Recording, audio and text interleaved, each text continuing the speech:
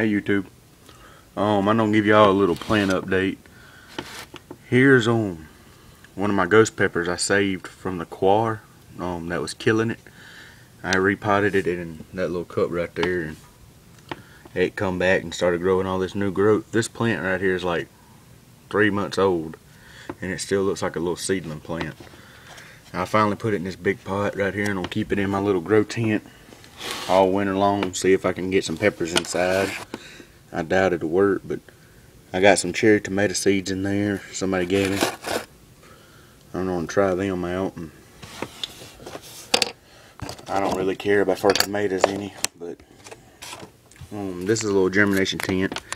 I don't know if y'all seen this last time or not, but it had these little pellets in it. I don't know if you can see that right there and I didn't like them. It, it kept killing my pepper seeds, so I filled it with potting soil and separated it with cardboard and just redneck engineered it really. Um, I got two ghost peppers right here. You see that one is coming up. These are from my seeds. I was testing my seed germination, so I really ain't worried if they grow or not. Um, but I was just wanting to see how my seeds would sprout. And um, so far I've gotten 100% germination on my ghost peppers. Um, there's a Carolina Reaper seed, HP22B, bought from um, Pepper Joe. It ain't sprouted yet, but it's only been in there for about a week. So I figure by the end of next week I'll have a little Reaper plant coming up. I got a Jamaican hot chocolate right there by the toothpick. Um, it, it, it sprouted and I, I, put I planted it. I sprouted it in um this little jar, not this little sour cream jug, and I'll show you what that is in a second. And this is another one I had. It's already popped up. That's the first one I've had that's actually looked like it's going to live pretty good. So we shall see. Um, now here's this thing. I got some more ghost pepper seeds in here. I just put in here maybe two days ago out of another batch of seeds I dried. I'm going to test the germination rate on them. So, like I said, if they grow, they grow. If they don't, they don't. Um, but so far I've had 100% on the first batch of seeds I've germinated. I got a ghost pepper in there and it's germinated. It just ain't popped out up above the dirt yet. Let's see if I can find it. Alright. See there it is right there. Um, and then there's that one. I don't know if y'all can see that or not.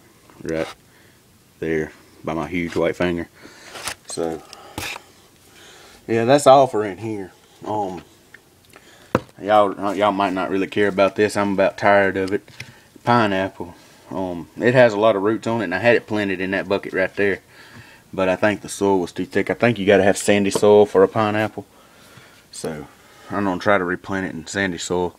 I mean, the, this leaf right here is growing for sure. But um, I think yeah, I think it'd grow better in sandy soil. So we're gonna try that.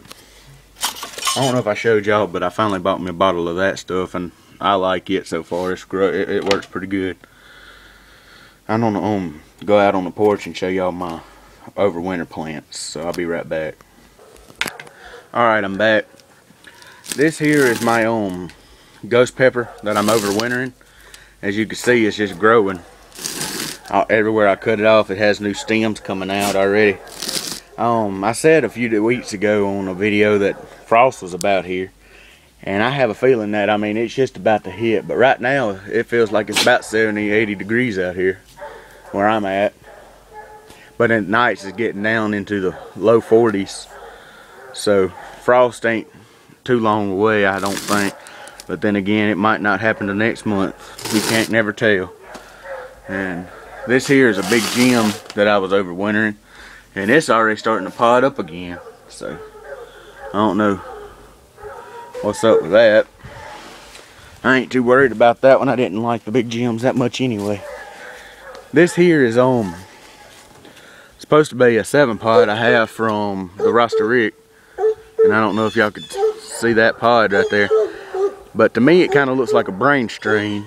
And I've had one that got um messed up, a bug dug, dug in it. And I picked it and cut the seeds open I mean, cut the seeds out of it, and the on pod, when it's ripe, it is orange. Like pumpkin orange. It's real, real neat. I ain't never seen an orange brain strain looking pepper before. And if y'all have, y'all let me know.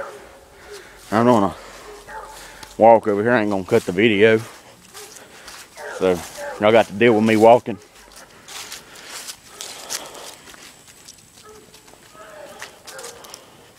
Y'all might be interested in my compost pile. It's all breaking down and looking good, so I might be able to use it before next season. A bunch of tomatoes are sprouting down there. I don't even want them. They just decided to come up. All right, here's the one that was my biggest ghost pepper. And finally, the pod started turning on it. That was the first one that started turning. That one started today. I don't know if y'all could see that, but the top of it's orange. And I just seen another one when I walked down here. I don't know where it's at, but I seen one while ago. It's turning too. Hmm. Oh, here it is. Right there. I think y'all can see that one a little bit better. This is my other ghost pepper plant. It ain't none of them on this one turning so far that I've seen, but so I got some nice pods on there. And if y'all want any pot, ghost pepper pods or seeds, y'all just let me know.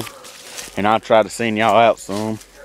I got plenty of um, pods.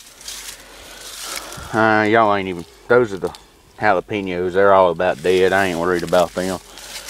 But, um, yeah, that's about the end of my update. Oh, there's a side view of them along with the dog. But yeah, those are my biggest ghost pepper plants. I'm still trying to figure out a way to save them without digging them up because they're in them buckets that's in the ground. I, do, I cut the, I think I explained this in one of my videos. I cut the bottom out of a bucket and dug a hole and buried the bucket. And it seemed to work pretty good for me this year. I don't know if it would have made a difference, but these plants are way bigger than the ones I had down there in the garden. So maybe it makes a difference.